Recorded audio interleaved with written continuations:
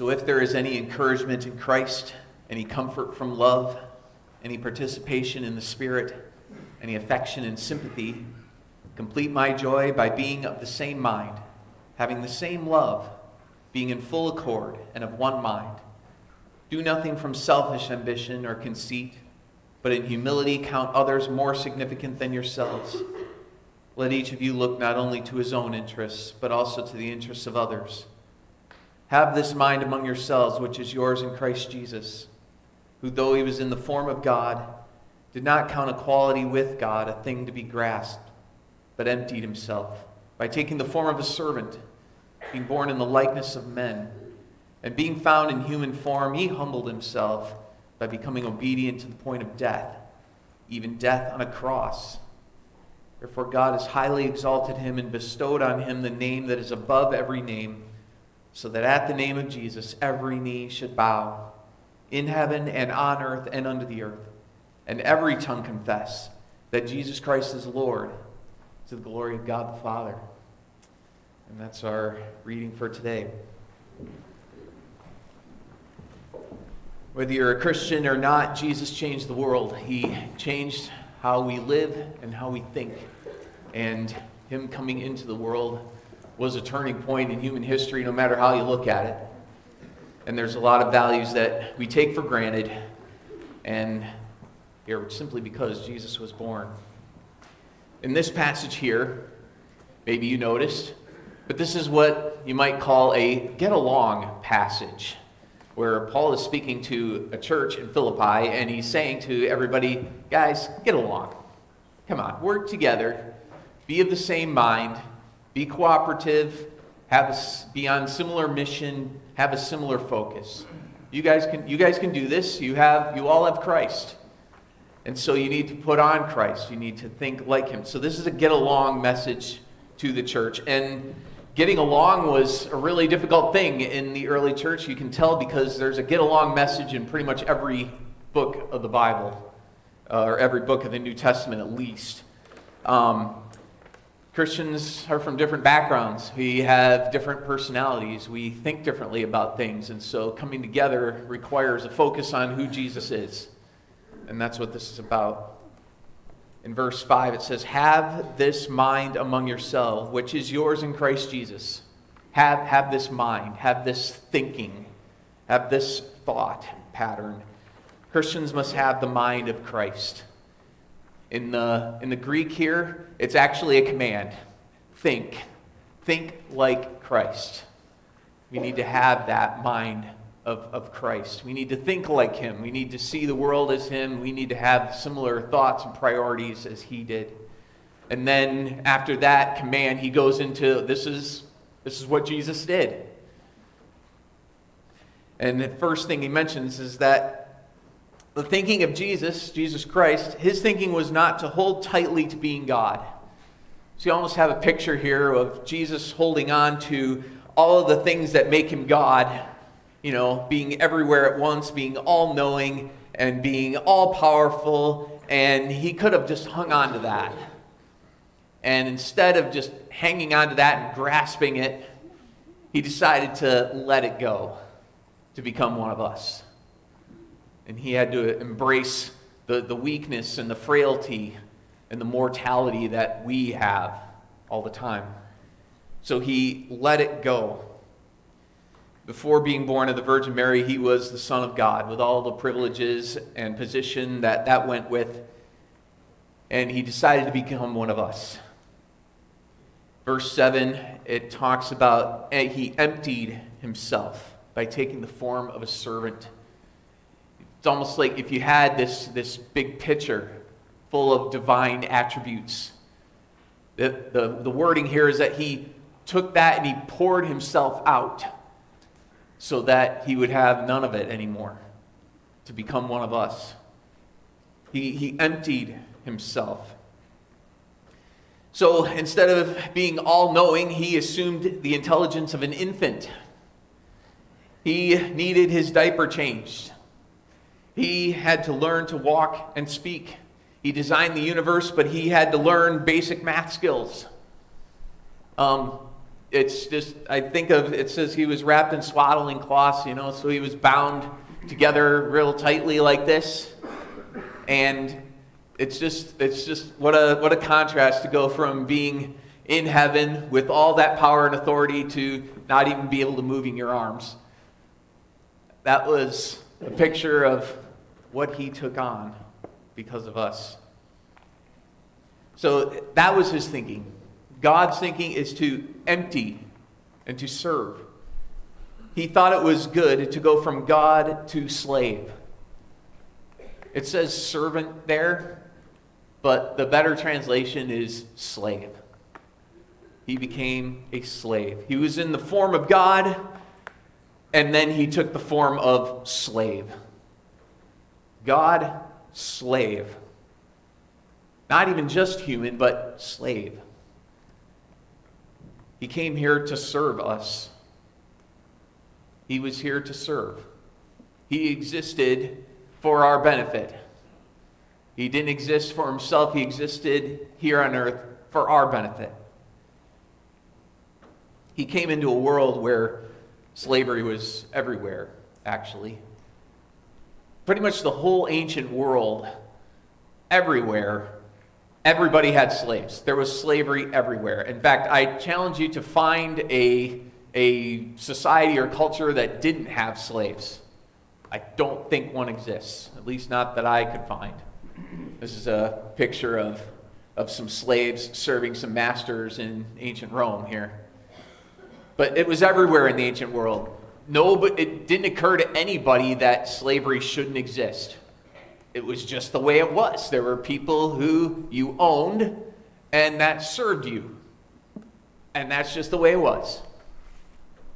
Nobody thought anything of it. Slavery was practiced in Egypt, Nubia, China, Assyria, Babylon, Persia, Greece, Rome, Carthage, India, and the Americas here, Native Americans here. It was in Europe, Middle East, Korea, elsewhere um, the oldest law code that was ever discovered from Hammurabi.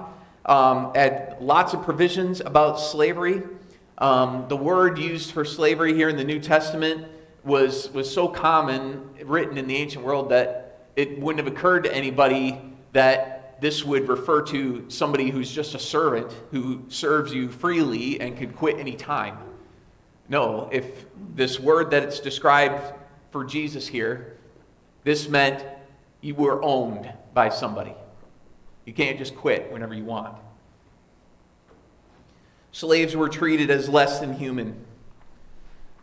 Slaves were legally classified as commodities.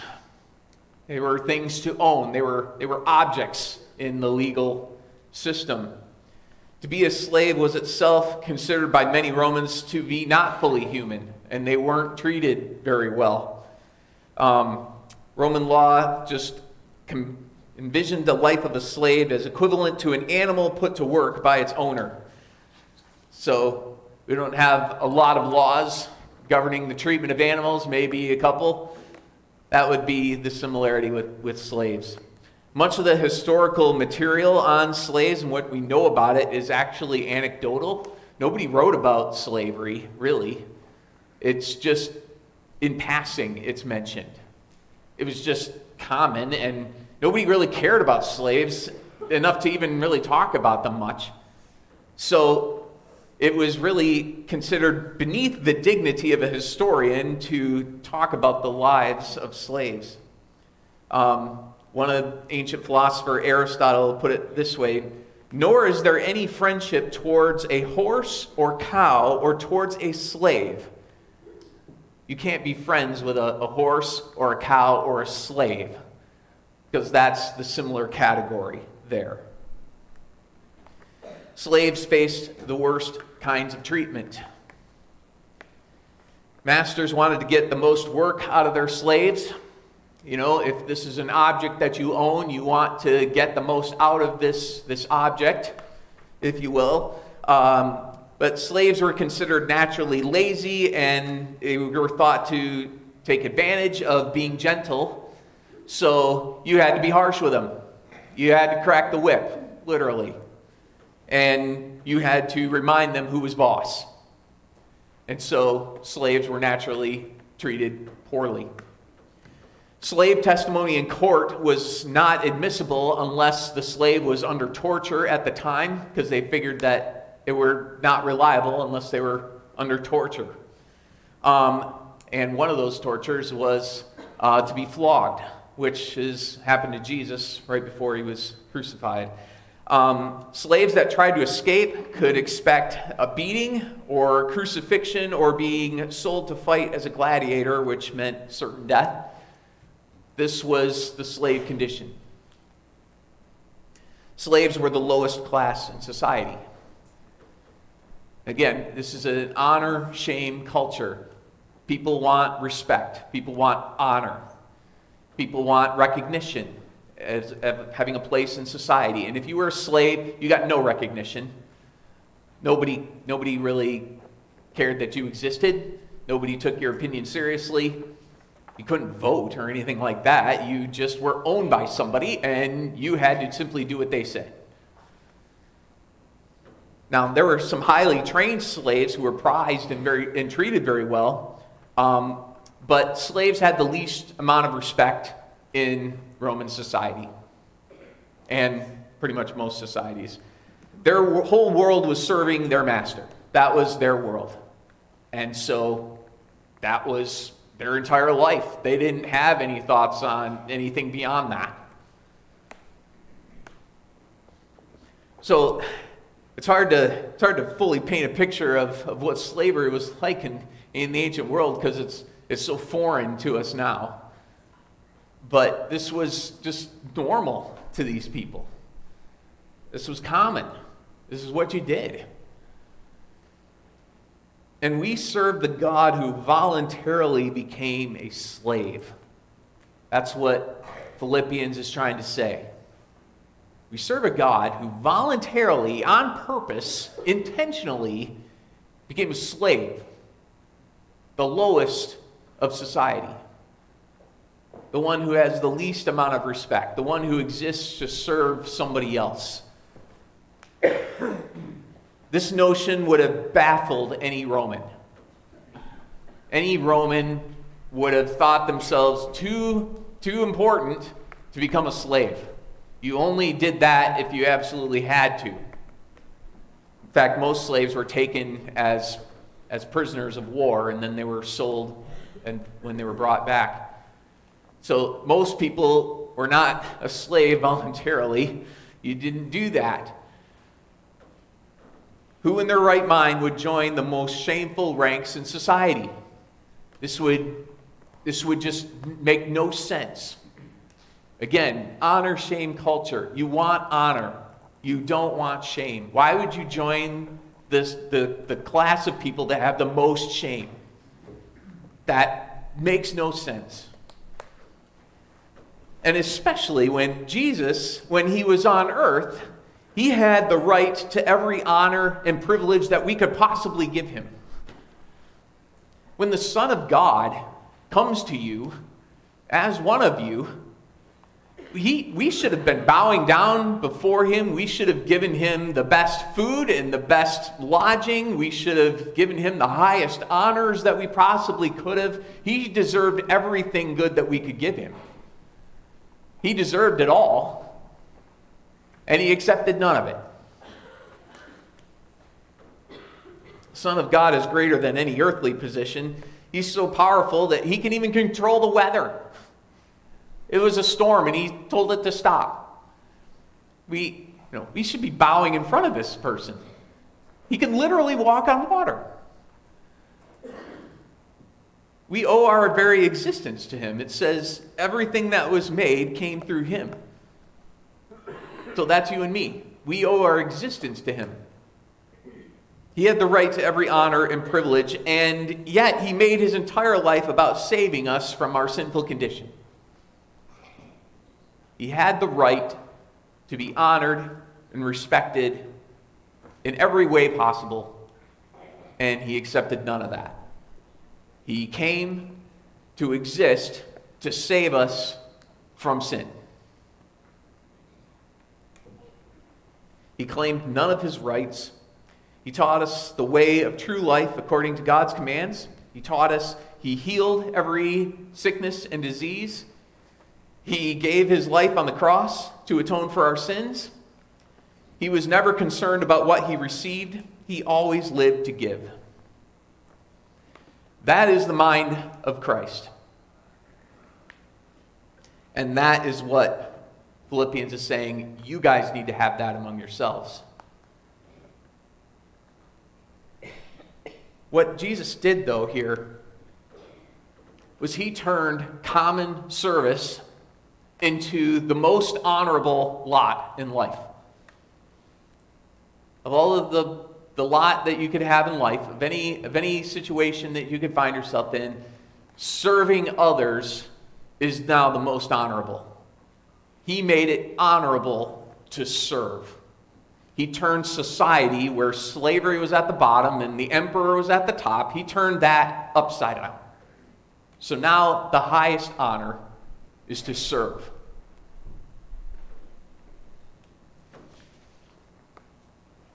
It says in Mark 10 42 through 45, you know that those who are considered rulers of the Gentiles lord it over them, and their great ones exercise authority over them. But it shall not be so among you. But whoever would be great among you must be your servant, and whoever would be first among you must be slave of all. For even the Son of Man did not come to be served, but to serve, and to give his life as a ransom for many. He put it straightforward right there. The Gentiles do things this way. Among you, it's going to be this way. 1 Corinthians 7:22. Paul talking to slaves here. He who is called in the Lord as a slave is a freedman of the Lord. Likewise, he who is free when called is a slave of Christ. If you were a slave, you are free. And if you are free, then you are Christ's slave. There's a reversal there. Service is the highest honor. Because if the Son of God does it, then it's honorable. He defines what's honorable. So if you have a job that means humble service of some kind, if you think that your job is a kind of a humble job where you have to serve other people, doing some things that maybe you'd rather not do, take pride in your work. Take pride in that work. This is the kind of work that Jesus did when he came here. He did the work of a slave, he existed to serve us. This is honorable. So do your best work because the Son of God took this route. So if your job is one of humble service, do your best work. Take pride in that work. Do it to the best of your ability. You are not on the bottom rung of society, you're on the top. This is what Jesus changed. You're not on the bottom, you're on the top. And if you are being served, treat that person with dignity and respect. They're not just an object that you can use, they are doing something that's honorable. Let's not look at service of that kind as the world does. Let's see it for the honorable lot that Christ made it. For Christians, serving others is a privilege, not a punishment. It's an honor to be able to serve one another. And if you look at if you look at the way that so many New Testament letters begin, Paul, a servant of Christ. Paul and Timothy, servants of Christ Jesus. Paul, a servant of God. James, a servant of God. Simon Peter, a servant and apostle of Jesus Christ. Jude, a servant of Jesus Christ. Or revelation, the revelation of Jesus Christ, which God gave him to show his servants the things must, that must soon take place. He made it known by sending his angel to his servant, John. Okay? All of the apostles identify themselves as servants. And again, better translated, slave. It's an honor to be a slave in Christ's economy. And you can see that. All of the New Testament writers are identifying as such. That's who I am. This is what Christ was. This is who I am now. Look at the screen here. Let's answer this together. What does God require of you in this eighth commandment? That I do whatever I can for my neighbor's good, that I treat others as I would like them to treat me, and that I work faithfully so that I may share with those in need. We treat people as we would want to be treated because Christ has changed the entire economy of things. So, even at the very beginning in the New Testament, from the beginning, slave and free were spiritual equals. And this would make no sense to a common Roman, but this was the way it was. Whether if you were coming to church and you were a slave, you had the same spiritual caliber and credibility as anyone else did. You were, you were equal in the church. Colossians 3:11 Here there is not Greek and Jew, circumcised and uncircumcised, barbarian, Scythian, slave free, but Christ is all and in all. Making that if before God we're all the same. In front of God, we're all the same. None of us is closer to God by any of these qualities. So there were spiritual equals. And this was true at the very beginning. Now, unfortunately, there were Christians that owned slaves, even at the very beginning. And even worse, there were Christians that defended slavery as an institution and said this was a good thing. However, as the message of Jesus got out farther and farther, wherever the message of Christianity spread, slavery began to fade. That's how, that's how it worked. Setting slaves free was a Christian pattern. Christians were doing that. In the fifth century, there was a wealthy woman named Melania. She liberated 8,000 slaves and decided to live a life of Christian asceticism. Um, there was a guy named Hermes who became a Christian during the Emperor Hadrian, and he freed 1,250 slaves on Easter. This was, these were just some of the more prominent examples, but Christians started to free their slaves. There are spiritual equals. I shouldn't own them. I should release them. And so this, and you have to imagine how much money these people are out by just releasing these slaves. That's a ton of money. But they were convicted and they decided to release those slaves. By the 12th century, slavery in Europe was rare. By the 14th century, it was almost unknown. As Christianity took over in Europe, slavery disappeared. Slavery was revived when Europeans began trading along the African coast the Africans had slaves, and so Europeans who were trading there bought slaves in Africa. And then slavery became common again. Soon, buying slaves from Africa and selling them elsewhere became big business. And unfortunately, Christians and churches participated in that. Across all different kinds, by the way. But slavery is outlawed today because Christians thought this was wrong. There were these Christians who grew to be more and more and more and said, you know what, slavery is just wrong. We need to stop it. It needs to be outlawed. It was people following Jesus who successfully pushed to outlaw slavery. It wasn't the secular world, it was Christians, people following Jesus, who became a slave, made it an honorable lot, who said, you know what, this system is, is messed up. First, it was the Quakers, then it was John Wesley and the Methodists, and then it spread out from there. Britain was first to outlaw slavery in 1833 with a campaign by devout Christian William Wilberforce. Today, slavery is outlawed in every country of the world. because of Christians, people following Jesus. He changed the world, He changed the way we think about things.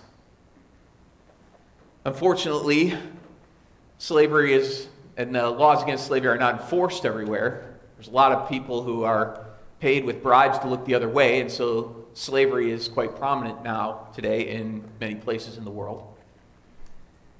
But it is outlawed in every place in the world. Let's end on this note. Jesus humbled himself and became obedient to death, even death on a cross, the lowest that you could go.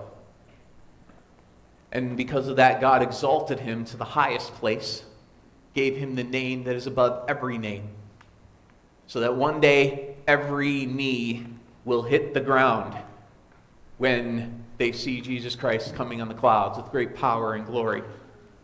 Because Jesus humbled himself, God exalted him. And the same goes for us. If you humble yourself, if you serve, if you don't buy into the world's ways of doing things, you will be exalted as well. This is the mind of Christ that we are to have among ourselves. Let's bow our heads and let's pray. Lord God, our Heavenly Father, thank you for sending your Son, Lord Jesus. Thank you for coming. Thank you for giving up all of your, your powers and your privileges to be one of us, to be like us in every way except for sin.